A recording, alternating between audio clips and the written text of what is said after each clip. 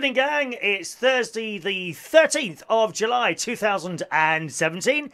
Welcome along to tonight's United Kingdom talk, coming at you always live from the Mirable Studios in Royal Berkshire. I have had such a lovely day today. I really had. We had the quiz last night, of course, at the uh, King's Head Theatre Bar in Islington every night. That was lovely really nice. I think we had six teams last night. It's not not too bad, you know, considering um, it's been a little bit quiet recently, to be fair. Um, but six teams. That, that was a nice night last night. Ray Reynolds and his little team made up of several thousands of people. Was about four of them all together. There was Peter Ward, who does hospital radio, Basildon. Paul was there. And I can never remember the other chap's name with the glasses. Uh, nice man. They only they came second last night. They were not happy. I think they came second, winning six bottles of pale ale. Not my favourite type of drink, I must. Well, I don't drink at all anyway, really, to be honest. Now and again, I push the boat out and I have a glass of champagne somewhere. Oh, yes, yes, now and again. If we go to a little afternoon tea or something, which we haven't done this year, usually I go out for a couple of afternoon teas. Uh, not in London, but I tell you, is that straight? Is that straight? All. I'm a little bit exposed tonight. I'm looking like one of those Mediterranean rock stars tonight, aren't I? Don't you think? I don't know, someone like Luciano Pavarotti. Oh, why is it all opera singers are really big? Is that something to, is that something to do with their voice? Do you have to be big to have a really good voice? I know lots of skinny people who are good at singing. You don't have to be big.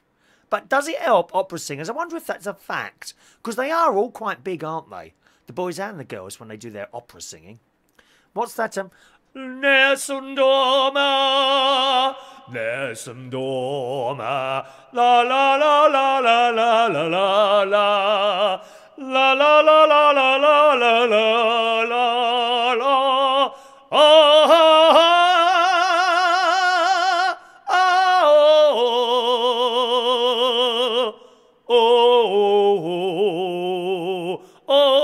Always, uh, always look forward to singing the psalm at church on a Sunday morning. Not, not the solo bit. There is a solo bit in the psalm at church. Oh yes, every week we have a psalm. It'll be something like uh, the response from everyone will be something like la la la la la la la, and then we all sing it to words. Of course, we don't la la. No, we have words, dear.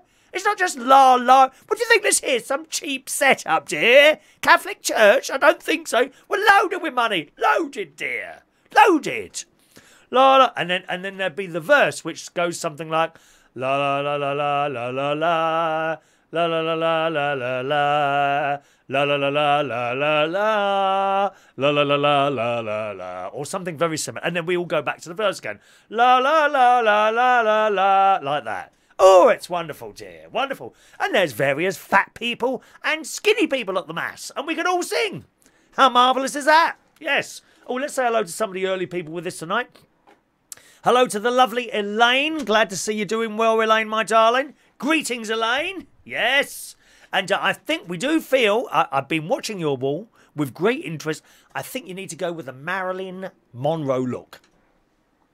But not just the hairdo, not just the hairdo. You need the fan and the white dress. Oh, yes, my darling. I can see you there in Tel Aviv, standing there on the beach in that white dress with the gold band around your waist and the fan blowing up your knickers. That's what we like to hear, Elaine. and all the boys, you can have some gay dancers around you, you know, the muscle sorts doing all their bronze tan dancing, and they put oil on to make themselves shine, don't they? Oh, I can't be doing with oil. Nasty, slippery stuff. I don't like that stuff. You know, especially like even um, suntan lotion. You know, that can be quite oily. I do not like it. I'm very, very lucky. I rarely burn. Look at this tan I've got tonight. Look at it. Look at this. That's because I've been out all day. I've had a wonderful day out, Elaine. Oh, it's been lovely. So after my breakfast, I had a lovely breakfast this morning. I had um, two Quorn burgers, a tin of baked beans, and two two uh, fried eggs in Frylight. Then I went swimming. My mate came around about ten o'clock. We all started early this morning. Ten o'clock we went swimming, and um, then we went to a place called Savill Gardens. Now, this is nothing nothing to do with Jimmy Savile, I'm pleased to say. We weren't visiting his grave, or oh, I don't think he's got a grave anymore. Didn't they dig it up and throw away the headstone? If you don't know who Jimmy Savile was, Elaine, he was um, uh, a very famous person here in the UK through the 60s, 70s, 80s, and the 90s. He had big radio show, uh, very big on the television, and uh, a few years ago they found out that he was a paedophile, touching up children and all that business. Uh, although he died before they found all this out, and um, uh, they took away his gravestone and, and things like that, and just you know variously dis- discredit horrible man horrible man. When you watched him on the telly, I have to say he came across as a bit eccentric or strange. But you would uh, you never put kind of two and two together, do you? Apparently, it was well known throughout the BBC that all this was going on. We didn't have a clue as the viewers. You know, he was one of our television icons. The same as uh, Rolf Harris and um, uh, who's the bloke on It's a Knockout. They were all at it all at it apparently. Terrible. Anyway, so Savill Gardens is where we went to today. Uh, nothing to do with Jimmy Savile. It's part of Windsor Great Park. And it's a. Oh, I've had such a nice day. I went with my mate Ron. Um, and uh, it cost uh, £10 to get in. He's a bit disabled, so he got in free of charge. Uh, the the car park also is ten pounds, but that if you go in, if you pay ten pound for a ticket, you get that paid anyway. So so it was only ten pounds. What a wonderful day!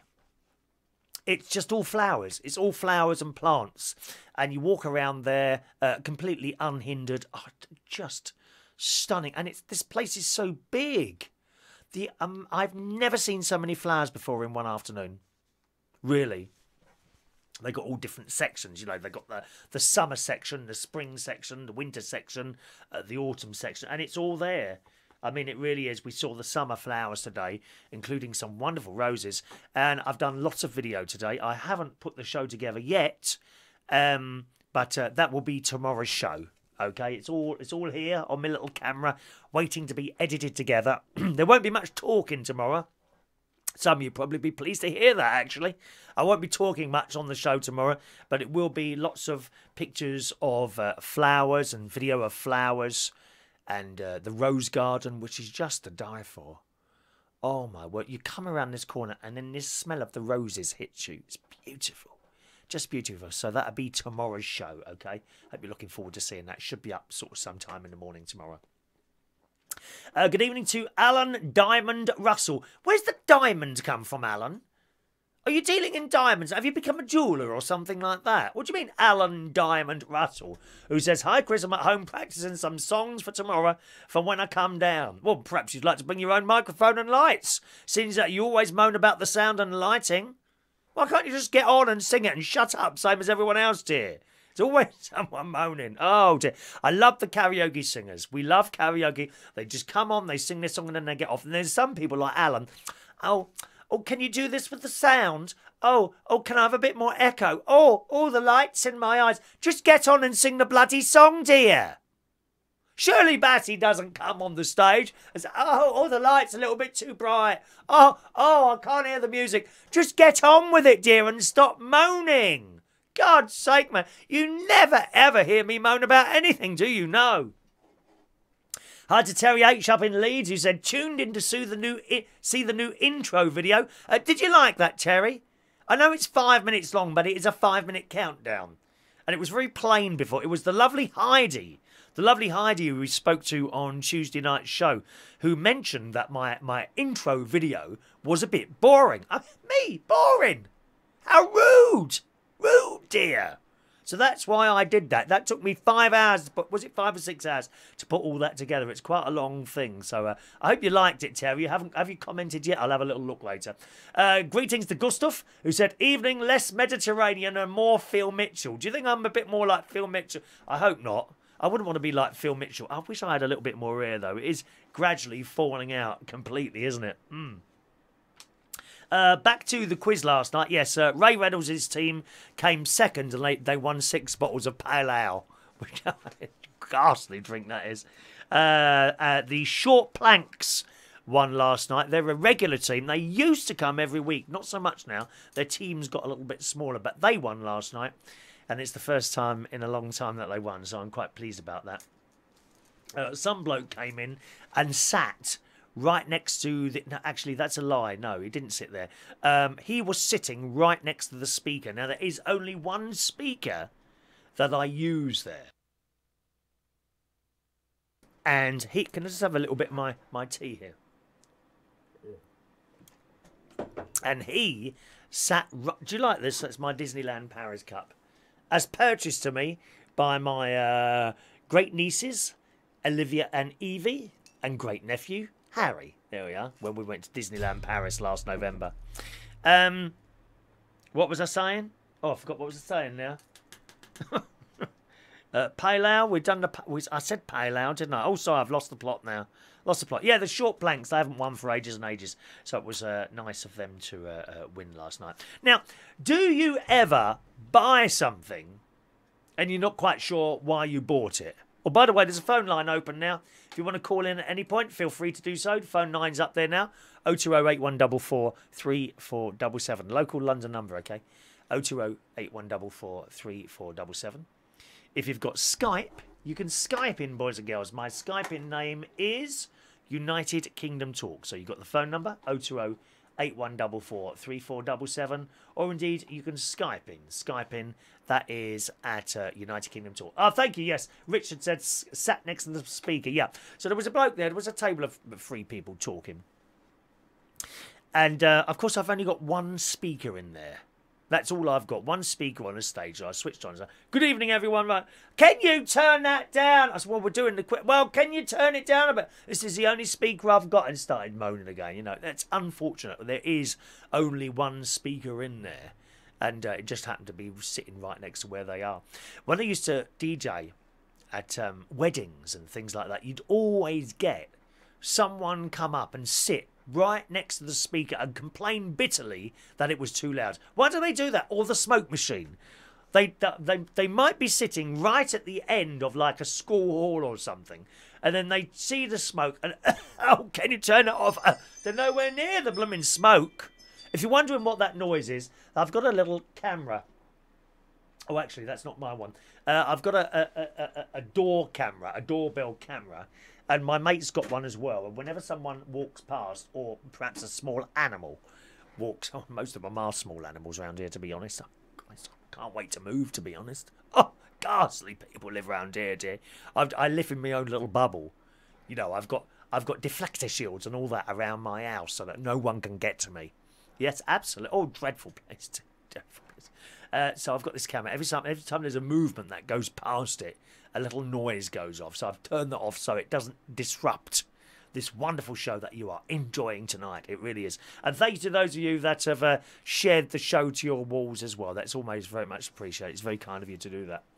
Um, yeah, and they'd see a bit of smoke. oh, can you turn it off? And the smoke would be nowhere near them. Absolutely nowhere near them. Strange and mysterious people. Yes, indeed. Now, yeah, do you ever buy stuff that you, you and you don't know why you've bought it? I, I ordered these on Amazon the other day and they've come now. Look, giant playing cards. Why have I bought these? I've got no use for these. I've got no use for these whatsoever. Dear me, I, look, I haven't even opened them yet. Only six. I think there were six quid they were. Plastic coated playing cards. I suppose I could have a giant, giant game of Snap or Solitaire with myself, seeing as there's no one else here other than the cat who's getting messier by the day, I have to tell you. I've got an elderly cat. She's 18 years old. A terrible mess there. Completely incontinent. All around the kitchen, up the walls. It's Oh, it's awful. I'm not joking.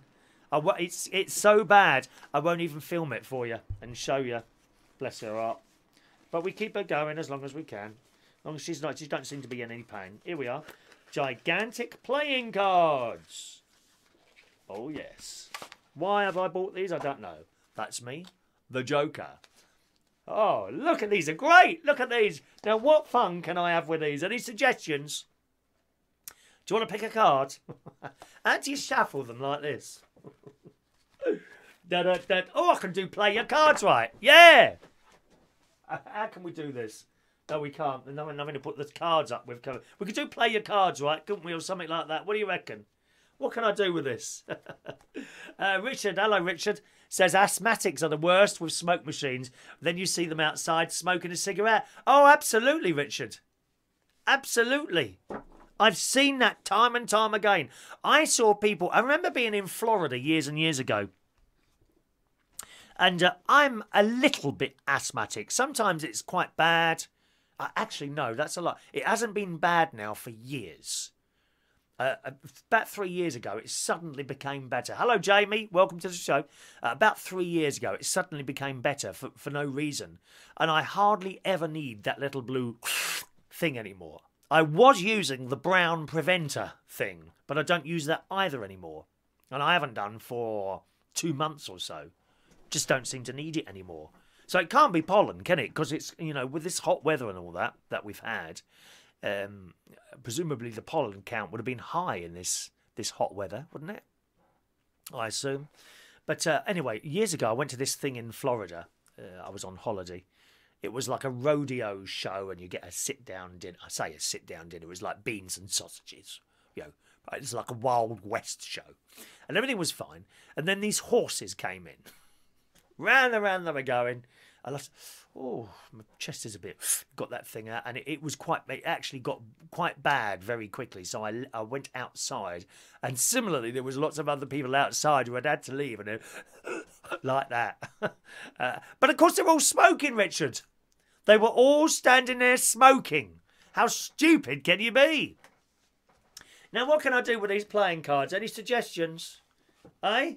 I don't know why. I've, why have I bought these? Could I put them up there? I could put my, I could do my phone number. Oh no, I haven't got an O, have I? Is there any O? 10, 11. No, there's no O in the cards, is there? I suppose I could make the eight as, a, ace as an O. I love them. Look. Which are you? A king or a queen? That's a suggestion. Are you a king or a queen? So, have you ever bought anything that you don't really need? Play your cards right would be excellent with these, wouldn't it? Dun dun dun dun dun dun dun dun dun dun dun dun dun dun dun Used to love that with Bruce Forsyth. There we are. Gigantic playing cards. I should love to think of something to do with these, although I'm really not quite sure. I like Play Your Cards Right. Used to love that show with Brucey Forsyth. They sacked him for being too old, didn't they? Do you remember that? That's quite a few years ago now. We've not heard a single thing from him, have we, for a couple of years now? Oh, Bruce. Not even you remember. Was it last year that um, the the wonderful Ronnie Corbett died, and he didn't even go to his funeral. We've not heard a thing from Bruce Forsyth, have we? For two years now. I'm very worried about him. I hope we, we see him back on the telly. You know what I'd like to see with Bruce? I'd like to see them bring back just one more series of his uh, excellent Generation game. He was great at it. So was Larry Grayson. Uh, the other bloke, what's his name now? The comedian bloke. Oh, I can't think what his name was. Um, who was the other bloke who did Generation Game? David. Was it? Da- oh gosh, can't remember now. He was a very famous comedian. He's got very fat now, hasn't he? Massively fat. Jim Davidson.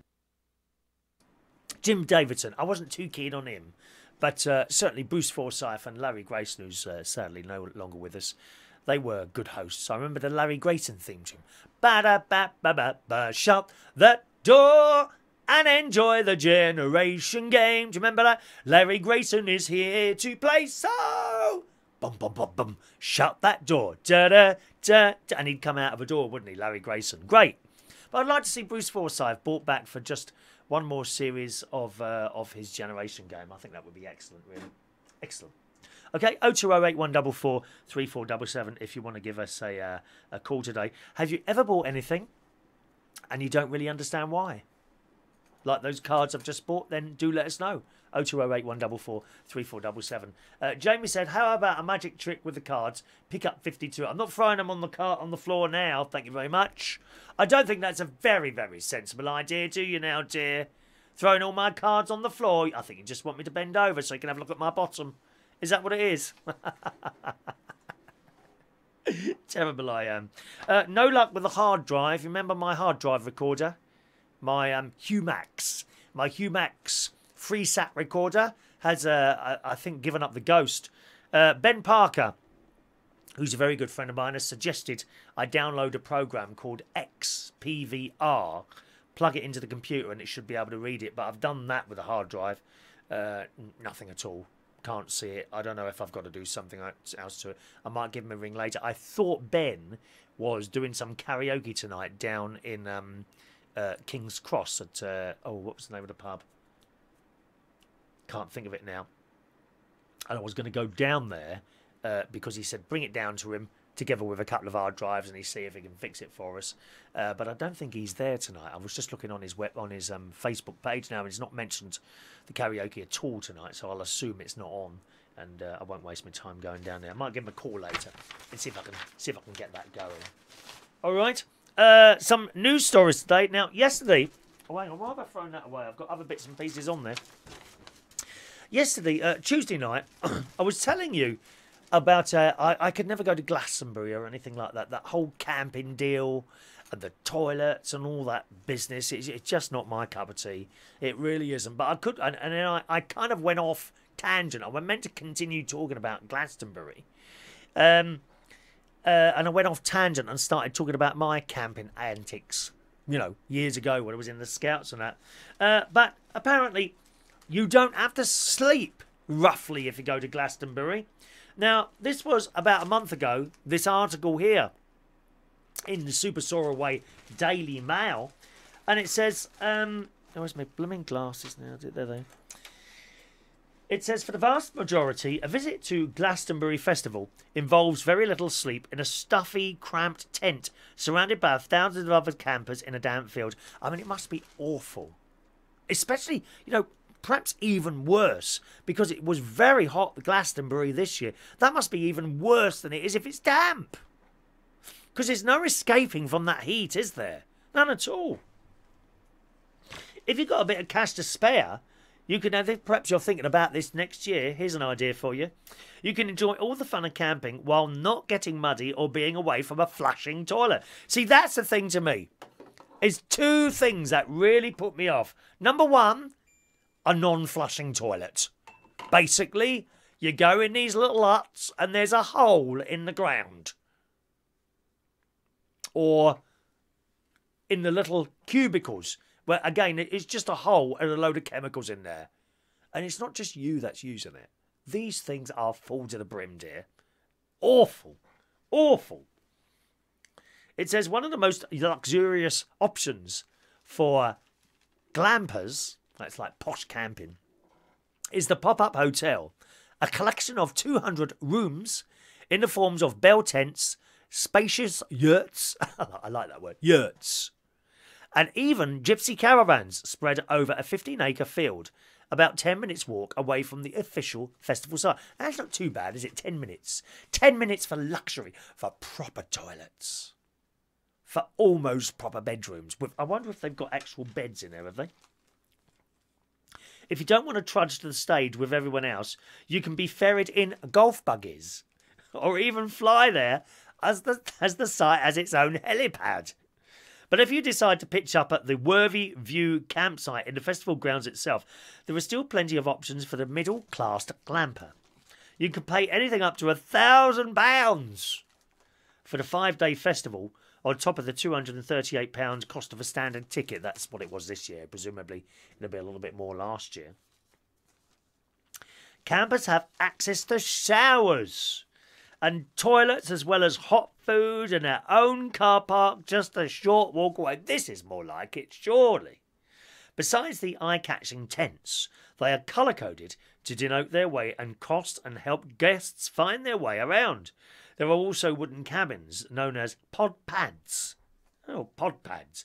And luxury Mongo style yurts. Mongolian style yurts. Tents on the site range in price from around £285 for a two person scout style for five nights and up to £995 for an eight person classic scout style tent. A bunk pad. Now, what's that one there? That's a let me just. Uh, I mean, there's not many pictures on this, unfortunately. Um, let's have a look here. Uh, yes, I mean, there's certainly you can, you can see how they're like now. This this is where you would, know, most people would be staying here. You see, look at these hundreds and hundreds of tents here. But here's the other ones. Look, You've got scout tents, and look how nicely laid out they are. I mean, there's a big old do in it. Can you imagine going have to set up all that business, wouldn't you? Gosh. Um, let's have a look. A bunk pad, which sleeps up to four, costs £725. These spacious structures have solid walls and floors and a six foot, eight inch high solid roof. Ah, so I mean that would be better if in you know when when the sun's out. Surely, could you imagine being in a tent and that sun coming down on that tent? It must be like an oven going in there. They come with two bunk beds with foam mattresses. Oh, this is more like it. You see. A 12 foot yurt with a space for four is priced at around £750 for five nights. For those taking their own tents, a pitch is included in the ticket price. Finally, relief came from the 30 degrees centigrade heat wave yesterday, uh, sorry, uh, uh, at the festivals um, because the temperatures. But despite feeling cooler, um, it was a far cry from last year's festival, which was deemed the muddiest ever. So there we are.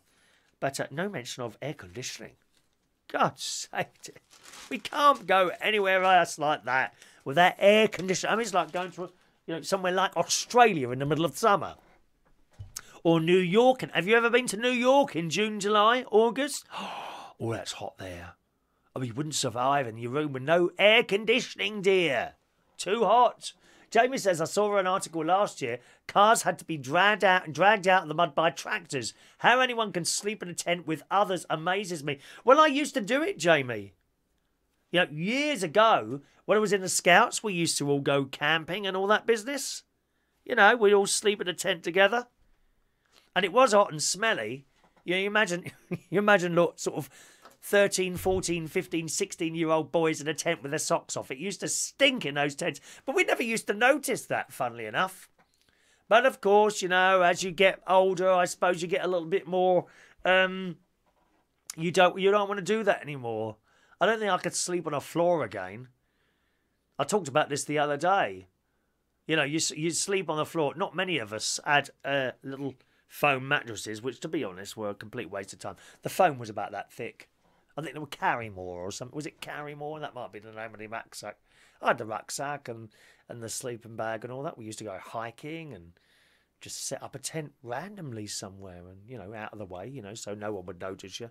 And that's where you'd sleep for the night. Mm. Get water out of a river, not knowing if it had been polluted further up the way. Yeah, it was a wonderful time we used to do that business. Absolutely wonderful time, yeah. 0208 144 3477 if you want to call in today. Uh, let me see here. Oh, I was talking to Wendy last night. Uh, had a little bit of a chat with Wendy. You, you, if you're watching the show on Tuesday, um, I did say that the hairdresser, the lady who cuts my hair down in uh, Wokingham, uh, is going to Scotland for a holiday. And when we checked it out, uh, a chap had told her that it's only six hours to drive to Scotland. Oh no, they, he told us seven hours actually. So I got my sat nav out. Uh, I use Waze. I used to use TomTom, but I use Waze now because it's all free. And um, I I fired it up and I typed in where we we were in Wokingham. So I just typed in how long to get to Glasgow, and it came up as six hours. And I was surprised at that because I always thought it took 10, 12 hours to get to Scotland. No, not according to this sat nav. And uh, Wendy came back to me in a private message and was saying, she said, don't believe that sat nav. It's got to take you 10 to 12 hours to get there. What it can't do is tell you how long you're sitting in traffic and all that. Well, and I said to her, well, actually, it does. It does involve traffic as well. That's the whole idea of having, well, I mean, part of the idea of having a sat nav, to be honest. You know, I'm not very good at finding my way around. I don't know about you. I was. for a little while, I did run my own scout uh, cub group, and twice we got lost. I don't know why on earth I ever thought I could read a map. And I could, well, I mean, I can kind of read a map, but I, I just look at it, and if I, I don't know, I still get lost. And I was no good at taking compass bearings or anything like that. And there were two occasions where we, we got back, instead of being back at like you know, the scout headquarters at like 10 o'clock, it would like like midnight. Parents were going mad. And this was in the days before mobile phones. I just get lost easily. So that's one reason for having a sat nav. But when I go to work, I, I do know the way to all the jobs that I do, the wonderful jobs I've got at the moment. I have. I love all the jobs I do. There was one that I really hated, and that's gone now. I'm so pleased not to be there anymore. I hated it. Don't know why. I think I just got bored in the same place all the time. All the jobs at the moment I love. And I know the way there. What I don't know is where the traffic is. Now, it's all very well sitting here on a computer just before you leave to go to work and typing in, you know, where's the traffic? And then you set out on the journey. Well, traffic appears as you're on your way, and you don't know about that while you're going. Suddenly, someone breaks down in front of you, um, or uh, you know, it might be an accident or just a lot of traffic going in the same direction. Well, you don't know that. Once you've set out, you're at the mercy of these things that happen randomly in front of you. With the sat nav, uh, a lot of them now they they have the traffic as standard. Waze uses traffic uh, information. I know TomTom as well, but we've been having a little bit of a problem with the TomTom one. The traffic would stop working for some reason. Don't know why. So um, that, that's the idea of having a sat nav. And presumably, my sat nav would tell me that on the way to Scotland from Wokingham, if there's any problems, it will tell me, you know, nine hours, five hours, 12 hours, whatever. But I sat there in the, in the hairdresser and it said, it said just over six hours. That's not going mad, you know, obviously that's sticking to speed limits and that sort of thing.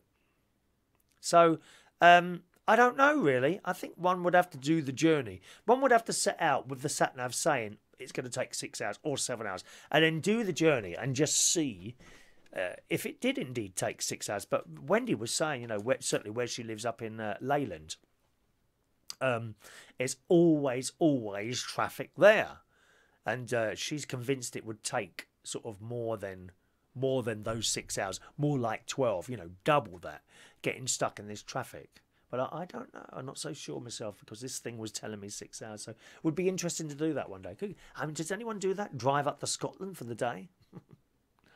I'm not not keen on. I have been to Glasgow years ago. Um, I wanted to take my sister and my nephew on a plane because they'd never been on a plane before. Uh, this is going back 13, 14, about seven years ago.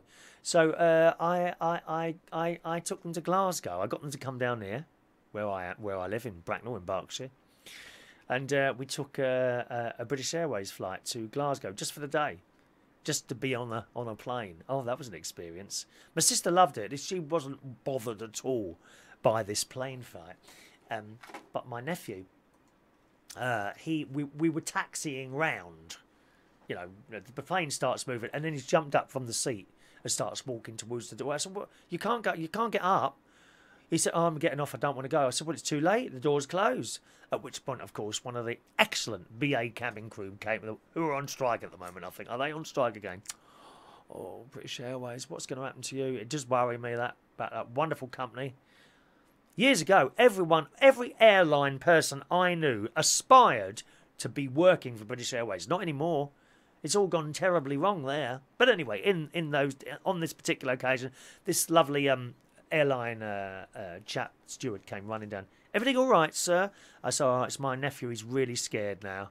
Oh, right, okay. So at that point, and he crouched down, sat next to him, and he was talking to him and uh, comforting, yeah, comforting, you know, telling him good things and about flying and all that business.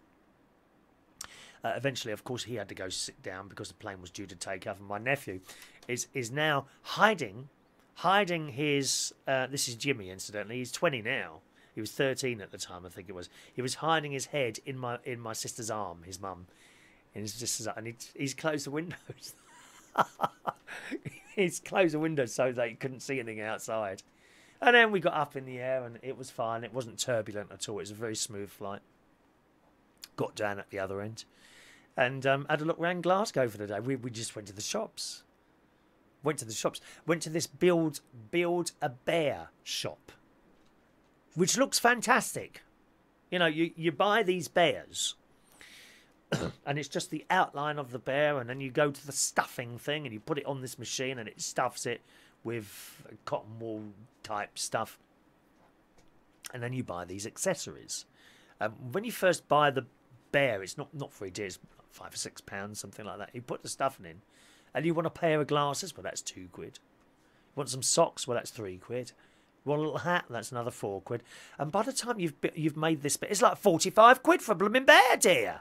God's sake, they're so expensive. That build build a bear type thing, but if you've got a child and you've got a bit of money to spend and you want a day out, yeah, do that because you can be in there for an hour or so. That's quite a nice experience. So we we walked around Glasgow. It was a bit um, dilapidated, I have to say.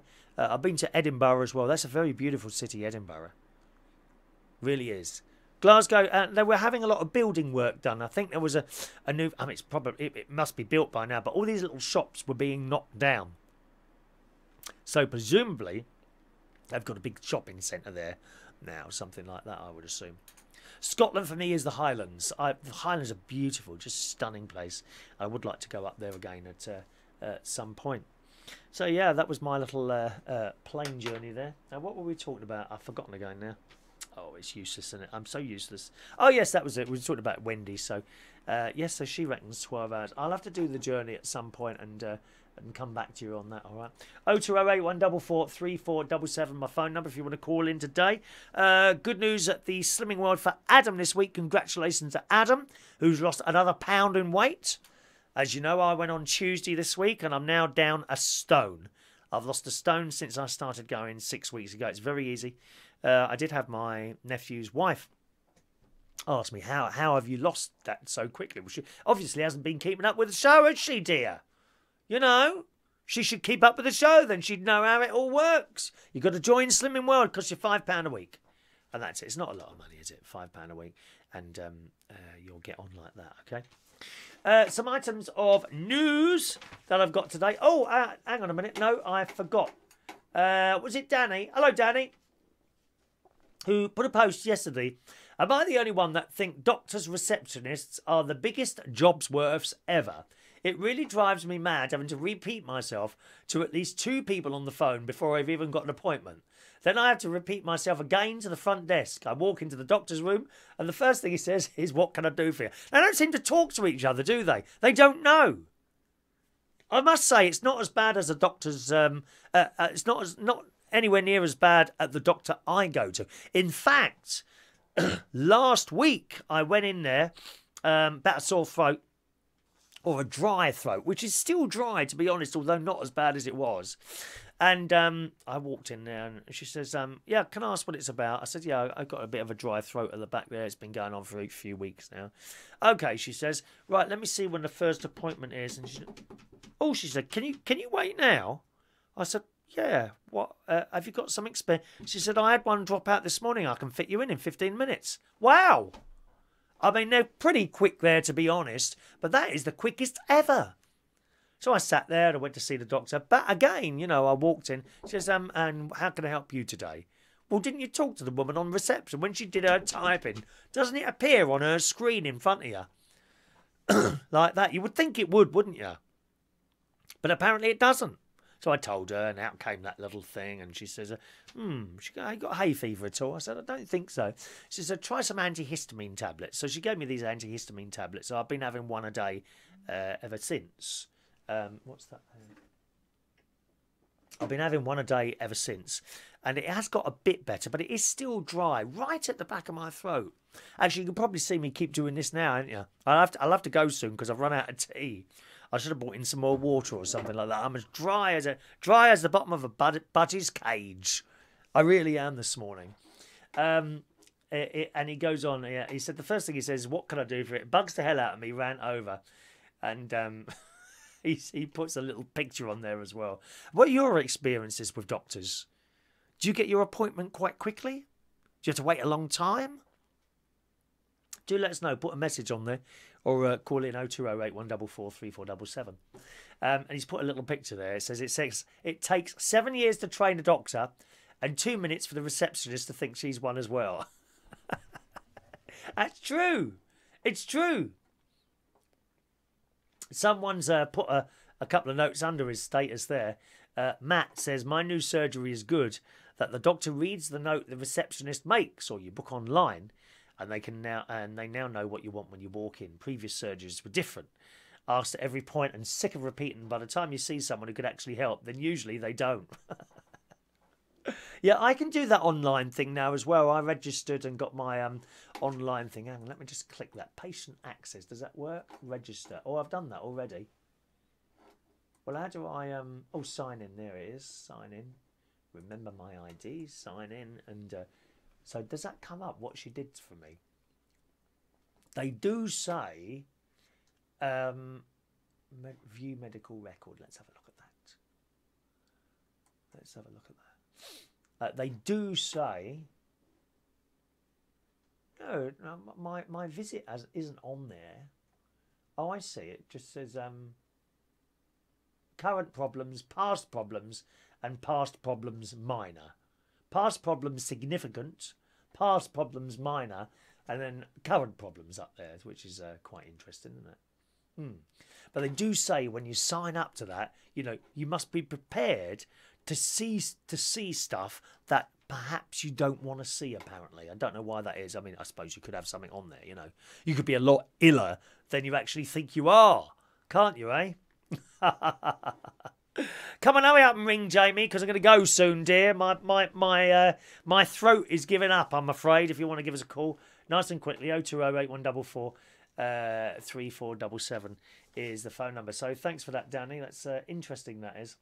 Uh, Alison says here, same. Our receptionists ask for details, and when you say I don't wish to say, they get humpy with you, or you tell them got to see the doctor, and he asks, "What can I do for you?"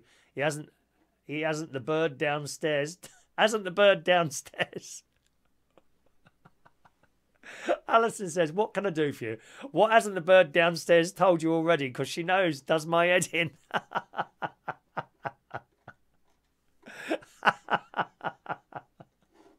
is that what you actually say to her? How funny is that? Good. Excellent. Uh, some news stories for you today, then, boys and girls. Uh, uh, now, I've seen these. Oh, there's a phone call coming in now. At last, we got a phone call. I didn't think anyone was going to call in today. Hello, who's calling in on line 278? Uh, hello, um, Jamie Clark. Hello, Jamie, all right? Uh, yes, I'm not too bad. Um, what it was I wanted to ring about today was um, the awkward things that people have um, rung in about. Um, I bought a. Oh, I can't remember what it was now. It was Oh, a, the, th- the things you bought that you didn't necessarily, you don't know why you've bought them. Is that yes, Yeah. Where whereabouts are you, Jamie? You in London? uh, yes. I'm in North London, oh, whereabouts? uh, Islington. Oh, that's where I was last Yeah, night doing me uh, doing yeah doing my quiz night last night. Yeah. yeah, it was in Stoke. I'm, I live in Stoke Newington. Okay. Go on. What have you Um, bought then? Uh, I bought a. It goes around your waist and it's for your camera. Right. Um, and you stick your camera on it, and you just carry your camera around on the outside of your body. But I've never used it. no. Still sits- Was it it. expensive? Go on. Was it expensive? Uh, it was about three or four quid. It was Oh. it's cheap and plastic, so Yeah, so that's- but that's four pounds you probably didn't need to spend. You see, it's like the cards I've bought here. You know, six quid, Yeah. and I think sometimes you can get you you know you're walking through some and you see something bright and shiny and you must have it. You know. yeah, yeah, yeah. I'm just, just trying to think of other stuff that I've bought like this. I don't really buy much myself. Um, uh, only for like doing these shows and things like that. You know, when it when it Yeah. comes to a piece of equipment for this for this, I don't mind spending the Yeah. money. Uh, but I don't really go clothes shopping very often. All the shirts that you see, there's nothing new other than that one that my mate uh, my mate bought me a shirt while he was on holiday. That's new. Uh, I don't really have any yeah. new shirts. Uh, the jackets, I suppose they're a couple of years old. Some of those now as well. Uh, but I I like go shopping for clothes maybe twice a year, about twice a Yeah. year, and then I do a big one. Do you know what I mean? Yeah, yeah, yeah. usually in the sale time. So it'd be just after Christmas. We go down to this place in Oxfordshire, uh, and also for uh, uh, birthdays. And that's quite quite Yeah. nice when you can get a load of bags at one time. You know, Yeah, yeah. you get some good stuff on Amazon clothes wise. De- definitely. Sometimes going to like Primark, you can collect. Yeah, yeah, yeah. We get we got one out.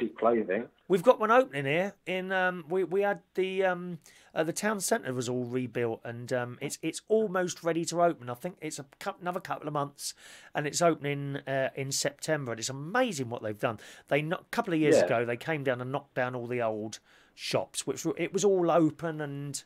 Uh, a bit 19, 19, early 1970s. You know the sort of thing, don't you? Sort of one yeah, level. yeah. Well, they've knocked that all down and bought these these massive glass structures and uh, hundreds of people working in this building site, and you just wonder how the hell they they all manage to to work together. You know, because obviously Yeah, you know the bloke. The bloke putting the trees in can't be there when there's a bloke putting pipes underground or wires there, and then the paving stone bloke can't be there while they're trying to dig. And it just amazes me how it's how they're all able to function together. Hundreds of people on this building site. It's a big old job, Yeah. I tell you. Wonderful it is. There's one. There's a Primark down. I can't remember where it was. It was near Marble Arch. Oh yes, Because I'm quite a fast-paced walker, right. and I like to get round the shops quick as Oh, me too. Me No- too. No, no dawdling.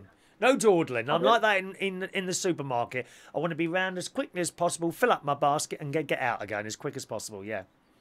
That's it. Because I, because I can't remember when it was, but I went round the Primark in, um, in Marble Arch. Oh yes. Everyone walks so slow. Yes. Yes. It's like your entire day just spent in that in that shop, and you can't get out until you've got got what you've wanted. But everyone walks so slow. You've got to adjust to their speed. It's annoying not- though, isn't it? Oh, annoying. Have you noticed what I can't work out in Marble Arch, right? You must have Yeah. noticed the amount of uh, very rich looking Arabian people That's with it, yeah. suitcases who buy Yep. loads and loads and loads of stuff and they fill up these gigantic super uh, uh, uh, cases with this stuff. Now, these are clearly very rich people. You've seen the hotels around there. They're very Oh, yeah. expensive hotels, two, three, four hundred pounds a night plus. Now, why are they in Primark? I, I, I, I don't get it. I don't You'd get it. thought I'd go to high end. You would think they'd be in the Ted shop. Baker's shop in in Oxford Street or the Ralph Lauren. No, they're in Primark. and and they get into these big flash cars outside. I don't get it. What's all that about? I, I don't. Mind you, I, I wore I wear um, Lonsdale t-shirts, and years Yeah. ago, I was DJing a, a place in King's Cross uh, called the Golden Lion. It's not there anymore, and uh, a lot of places closed down. You know when I'm there, funnily enough. But um, and there was a group of Italian boys in there, Mm. and they've come up to me, "Wow, where did you get that?" Oh, Sports Direct. Wow, these these are and they were very highly sought after items in Italy. Can you believe that? Lonsdale. Strange, isn't it? You know, I, I just suppose it, it depends what is the the the brand of the time in whatever country you are. You go to America and you can buy all this Ted Baker stuff and the Ralph Lauren stuff and, and all sorts of stuff, and it's at least a third less, sometimes half the price of what we pay here. Exactly. Yeah. Although not such a good deal now because the exchange rate is dire for America. It's something like one dollar twenty-four to the pound. I don't know if that'll get any better or, or, or what, but I remember going once uh, and getting nearly two two dollars sixty to the pound. Now it's like one dollar twenty. Yeah, it's a long time ago now. You got any Oh, holidays yeah. booked? Pardon? Are you going anywhere on holiday this year, Jay? Uh, no, I, I went to Tenerife in, um, I think it was in April for Right. 10 nights. Ah, It was, yes, my it a, was fr- beautiful. a friend of mine uh, does a lot of work over there. He's a, a performing artist on Tenerife, and um, uh, that- Yeah. who, who did you go with? Uh, went with my other half, Right, so we stayed and you quite an, close to the quite What? close to the beach. So was it? go out the hotel and you pretty much What's the nightlife like? Is that quite good there? uh, yeah, there's quite a bit to offer down Right. by the seafront there. Uh, there's some quite quite half decent um, live artists. Oh, what singers and all that? Yes, the singers. Uh, we've got tribute bands, everything. I like really. you get a good tribute band. It's almost the same as seeing the as seeing the people. My sister likes Björn. I think it's Björn Again. You know the ABBA tribute bands. Yeah. Do you know them? She's been to see Yeah. those, um, and uh, various others. I think. Uh, my my nephew, funnily enough, hi- him and two of his mates, they went to see a Rat Pack tribute. So it'd be like Frank Sinatra, Dean Martin. Who's the other one? Oh, there's three of them, isn't there? I can't think who the other one is now. No, I, I, I ain't that old, dear. I don't really know. them, them, them kind of. You know Frank Sinatra. Please do us a favour, will you? You I- know Frank I do know Sinatra, Frank Sinatra. huh? I, know, I, I do like a bit of a. Do you? Was there any karaoke bars down there? Oh, Oh, it's not your- really. Not your thing, no. I'd I'd be the kind of person that would want to walk walk past it, but listen Okay. to it at the same time. So Fair enough. What about your other half? Is he a karaoke person? she- can be at times. It's all really What does she sing? anything when she's. She usually don't- She gets drunk on a on a Friday night. She don't do that awful song. I will always love you, and I will always love you. Oh, it's ghastly that song, isn't it? Oh God, that would, that would drive me around the bend. I would get fed up to the hill. Have you got any children with you or not? Not yet. Uh, no, thank No, God. true. So it's just the two of you, no, was it? chil- no children just yet. So you can, so you can go out every night and sort of enjoy it and get a little bit tanked up as well. Did you have the full English breakfast while it you were all, there? It all really depends, really. If I, it all depends if I have work in the morning, but I usually work Monday to Fridays. All so- right. What do you do? Uh, I work at Paddington train station doing customer service. Oh right, Okay. Not not actually on the- not actually on the platforms in a, in an office or, or what? Uh, it, it's like a information desk I'm with you. on the main concourse at Paddington. Okay, I must come past you on occasions. Um, when I'm driving to North London, either King's Cross Hmm. or um, or uh, or Islington. Usually, Yeah. it'll go over the A40 straight there. Oh yeah, that's, Right. that's pretty much us. But sometimes it's um, it's it's chock a block. So it will take me off the A40 and then back down and underneath the A40 and straight on. And Yeah. I cross a set of lights, although sometimes I'll go left, but other times I'll cross a set of lights, go a little bit further back down towards Chelsea. Would it be Chelsea? No, Notting Hill. Towards Notting Hill. Yeah. Yeah. Yeah. But then I turn left at a set of traffic lights, and there's a steep hill going up, steepish, Yeah. and there's a lot of Italian restaurants down there, and then there's a big hotel, possibly the Hotel Metropole, Yes. and then I carry on, and I think I go past Paddington Station on the left. Would I be right? think No, I thought it was on the right. No, no. There's nothing on the right. That's just shops and houses on the right. I must be going down a different road then. Oh, okay, maybe so. Yeah, I'm, I probably drive past you a few times at, at night time. Do you do shift work or, or are you sort of nine to Uh, five? I, I pretty much do whatever they give me if I'm asleep. If I'm asleep, which is usually well, you sleep on the job? in the morning, and if they ring me, they say, "Can you come in at ten o'clock?" What they I'm pretty much. are you on zero Yeah. hours? Pardon? You're not on zero hours, are you? Zero hours contract? No, no, no. Ah, so you, I, I, I do work shift right. shift hours. I only I only do the morning and afternoons. And you enjoy But that? Sometimes, yeah, I, I enjoy it. Yeah, it's quite It's a good job. Do you get free quite nice train travel out- as well? house. Yes, free travel as well. Oh, uh, excellent. Seventy-five percent off So you can go all, all, over the place. train Do you- So Do you ever consider going on holiday in this country? well, the, with the, with the current weather, with it raining as much, well, a a as much rain as we've had, Right. I wouldn't really consider it. But No, I used to go on holiday quite a lot to uh, Great Yarmouth. Oh yes, yes, Great Yarmouth down. Uh, is it? Uh, Nor- is that that Norfolk or Suffolk? Norfolk. Norfolk. Great Yarmouth. Yeah. Su- yeah. Sussex.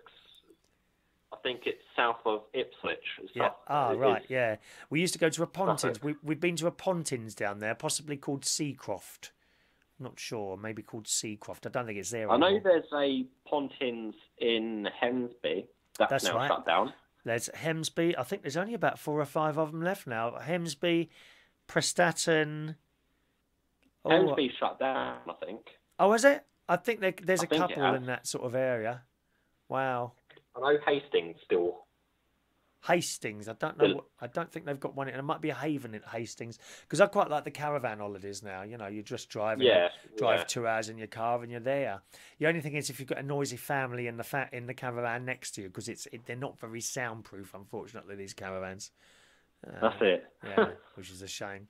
Well, it's lovely to talk to you, Jamie.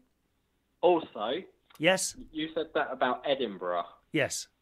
Uh, I used to, well, I still do. Um, I go like ghost hunting and all that. Oh, do you really? How I- fascinating. I, I'm quite quite big into the uh, ghost hunting, okay. and it's, it's not like an official group or anything that I go with. Um, we go up and down like the country Yes. in like search of these proper Ghosts. Yeah, yeah. Well, pro- proper Like, ghosts proper rather than haunted pretend, areas.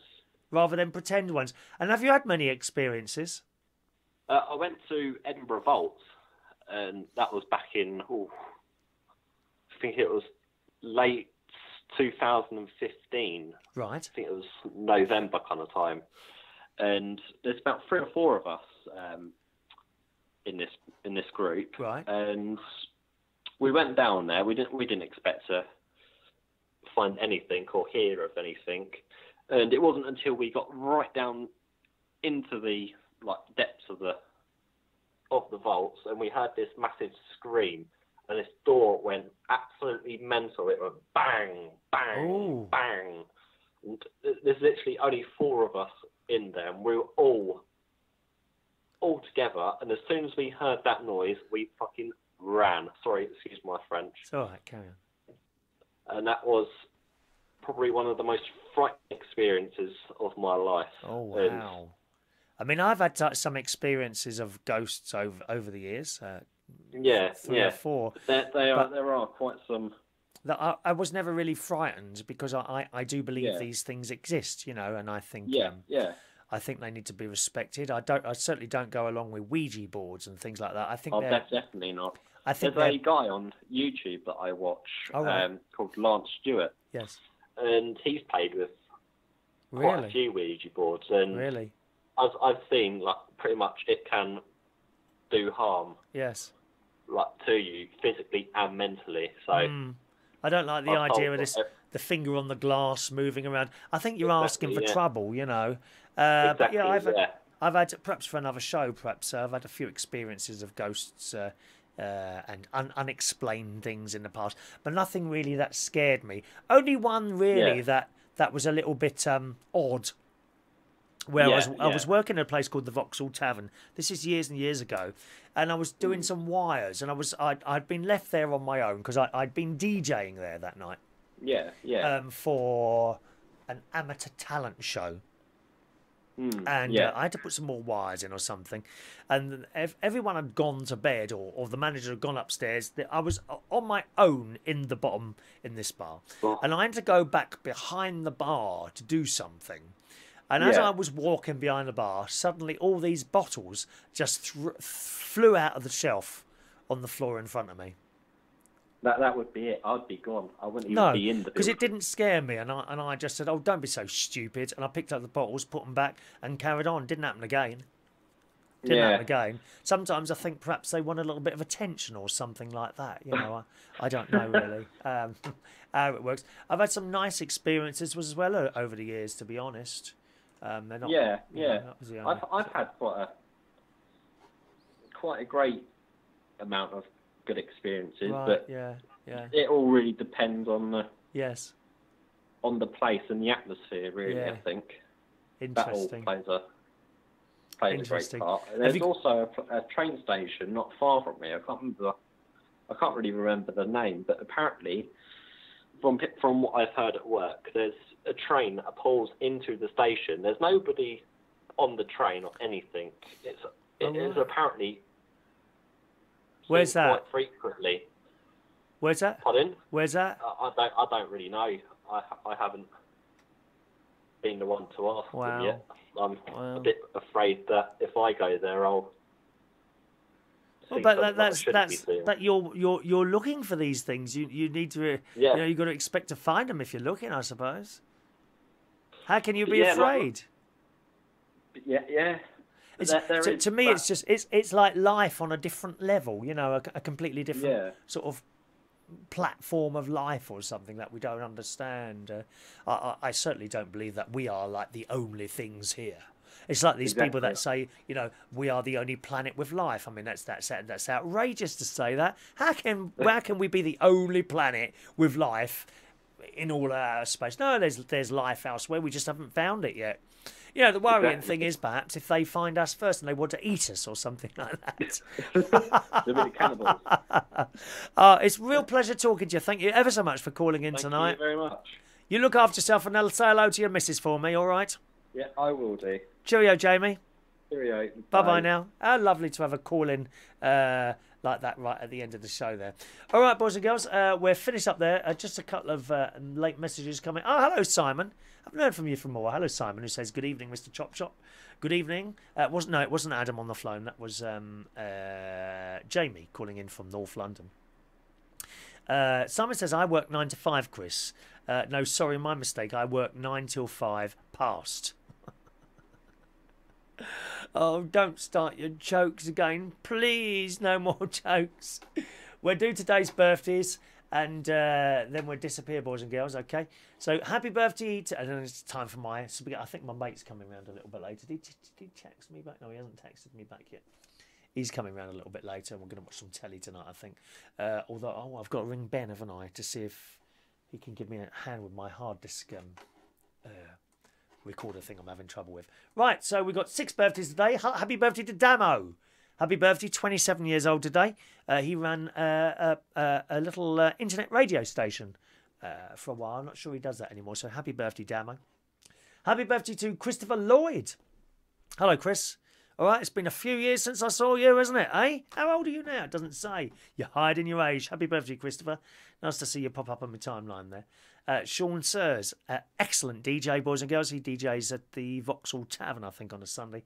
Happy birthday, Sean. Don't know your age, dear. Are you keeping that quiet, are you, my love? Years since I saw you. Happy birthday, Sean. Uh, happy birthday to Stefan Brown. Happy birthday, Stefan. My little friend, my little dance. Are you still dancing? You still doing your dancing? Uh, Paul John Neary, who I worked with at uh, the uh, uh, Two Brewers for a number of years in Clapham. Happy birthday, Paul. And happy birthday today to Elliott Brown. So just uh, just six birthdays today, boys and girls.